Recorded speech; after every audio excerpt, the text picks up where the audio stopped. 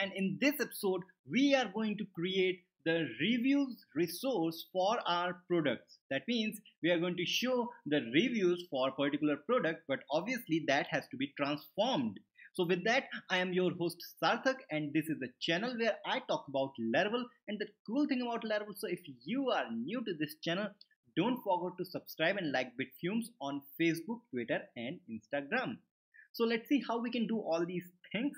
So for that, let's go to Sublime and open app, HTTP, resources, product, and you can see we have one product resource. So if I go and open PHP artisan serve, go to Chrome, search for localhost slash API slash products, we will get details if I go to product, we will get details of the products. Then if I go to this link, there is nothing because we have not done anything for reviews. Let's see how we can transform our reviews also. So we need resources for transformer. So let's create that. Open new terminal. I will say PHP artisan make resource and that should be make.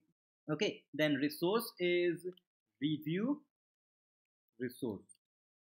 Hit enter and yes, our review resource is created outside this product folder because it's not a part of product directly. okay, so here comes and if I now open review controller, go to index function, return review colon colon all and what will be the result obviously we have to import this at the top so find use to chrome reload this page. We are getting all these reviews but we don't want all reviews. We want reviews for particular product. So if i go here and you can see we have the product id if i change it to 10 we should get the reviews for product having id of 10 so this means we can access that product directly from here. So I will say product then product and let's return this. Return product. Let's see the result. So it is the 10th product. We have to import this also. Find use and re reload. And yes we are getting this product. But we don't want product exactly. What we want we want the product reviews. So instead of this I will say product arrow reviews and remember this this is actually the relationship. So if I go to products model we have this relationship. So that's why we are getting this. Go reload. You can see we are getting all these things. But as we have done for the product we don't want exactly the same structure of our database to here. We need transformed. So we have created this review resource. So let's get the fields we want to show to user. So oops what happened here. Yeah. Here I will simply say customer and customer is this arrow customer. That's not a problem. Then whatever will be the review. But instead of review I will say body. So that should be review body. Okay. This is the power of API here is review and I'm giving this as a body not the review. Then obviously we are going to say whatever will be the star rating. So this arrow is star. Okay that's nice. And if I go reload nothing will happen because we have to use this resource uh, review resource. So how we will use wrap this and here I will say review resource colon colon collection why collection because it's not a single review and it's it's a collection of reviews. So that's why reviews. So let's use this at the top find use php companion everything at the top go reload. And yes we can see we have this. So if i go to id of 2 you can see four reviews four ratings. Ah, remember this star 4 4 4 and 4 4 4 4 12 13 14 14 divided by number of rating is 4 14 divided by 4 will be 3.5 so if I go to this product 3.5 is here. That's great. So now if I go to get all the products you will see we are getting all the products. But what we want we want pagination. I have forgotten this on the when we are creating the product collection. Let's do it now. Doesn't matter. So for that I have to go product controller and on this index function instead of product all I will say paginate and simply 5 let's say 20 okay so reload this page. And yes we have all these things with the next and previous links this next link and total number of product total number of uh, per page product and everything is here. So this is very nice. And you can remember this.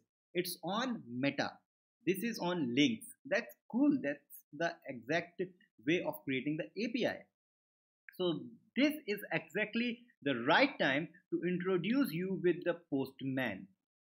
What a postman? It's a API development tool chain. With this the API development is very become very easy.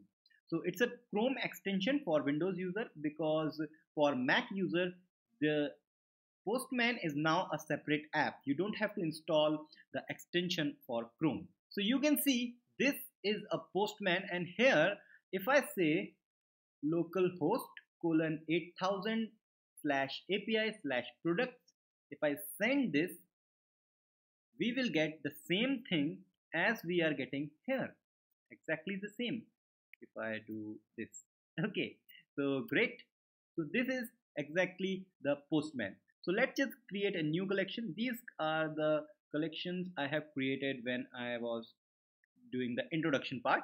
So not a problem. Let's create eAPI collection. And inside this I'm going to create a new folder called products where we have all product related route.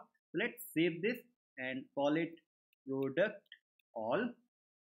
That will be inside product and if I want to get the product of ID 4 and then send we will get the product details for that particular product. Let's save as and call it product show. That also be inside product. Great. And similarly I will also create a new folder for review. So reviews. And here on the reviews I want to get the review for particular user. So if I hit review hit send and you can see this is the reviews for that uh, particular product of ID 4 so save as once more and this time it's uh, reviews all for particular product obviously. Then eAPI reviews and that's nice.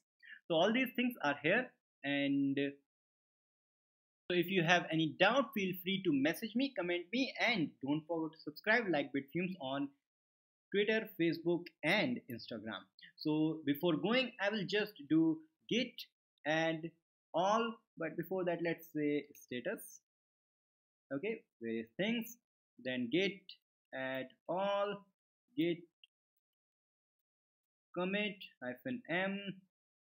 And here comes uh, review resource and uh, and then product pagination. Okay. Then git push. Done. And let's go to chrome. Here refresh. 9 commits. And now it's 10 commits. Great. So don't forget to subscribe and we will meet in the next episode. Till then bye